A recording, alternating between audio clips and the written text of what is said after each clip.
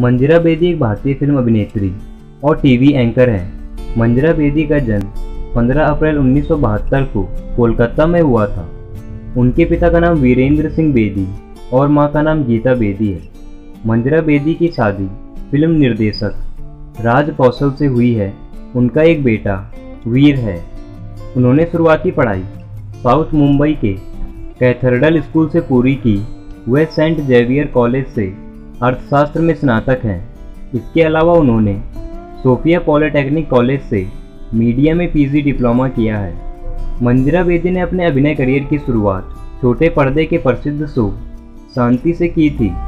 इस शो में उन्होंने शांति की भूमिका अदा की थी। शो में उनके बेहतरीन अभिनय प्रदर्शन से फ़िल्म निर्देशक इतने प्रभावित हुए कि उन्हें फ़िल्मों के ऑफ़र मिलने लगे।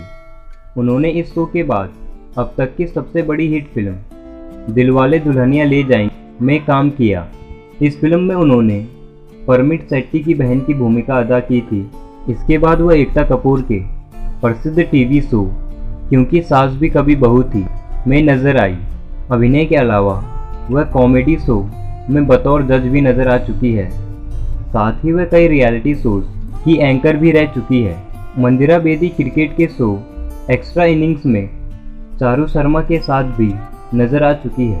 उनकी प्रसिद्ध फ़िल्में हैं साहू, द तास्कन फाइल्स इत्तेफाक, मुंबई चकाचक, मीराबाई नॉट आउट, दस कहानियाँ दिलवाले दुल्हनिया ले जाएँगे, आदि हैं।